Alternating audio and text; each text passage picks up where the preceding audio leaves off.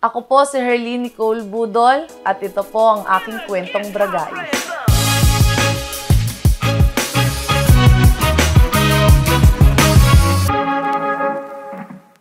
Ang unang naiisip ko kapag sinabing Jojo Braga is Rizal. Kasi I'm from Angono, Rizal. At ang pagkakaalam ko, ang planta ng isang Braga is na hills ay sa Rizal. And I'm so proud of that. Ito na nga. Nag-meet nga kami doon sa Binibining Angono at isa siya sa mga judges tapos nag-sponsor nga siya ng hills sa aming lahat ng mga babae. Ang tanong na nakuha ko nung Binibining Angono kay Sir Jojo, kung ikaw ang magiging sagot sa isang makabuluhang katanungan, anong tanong ito at bakit?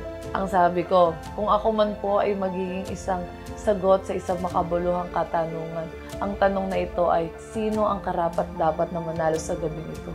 Siyempre ako. Alam naman sila. Kasi hindi lang ako maganda sa physical na panlabas, kundi kaya ko rin po maging isang magandang ehemplo para sa mga kabataang naliligaw ng landas. Actually, dati hindi ko talaga alam yung isang heels ng Jojo Bragais. So, nung unang nakita ko, sabi ko, ay, ang ganda, pasabog. E nung nasubukan ko yung Bragais, sobrang grabe heaven. Bilang hindi talaga sanay sa mga heels, paltos-paltos ang inaabot. Pero nung nag-Jojo Bragais ako na heels, walang eme to ha, komportable, tsaka ang sarap niya ilakad.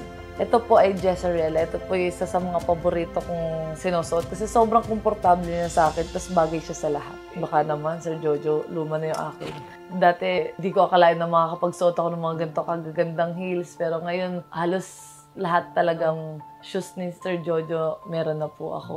Dahil sa pag-sponsor niya din po at sa pagbili po ni Sir Wilbert, lahat talaga walang tapon na design. Sobrang gaganda. Ang mensahe na gusto kong sabihin sa kanilang lahat na kung kaya ko, kaya mo din.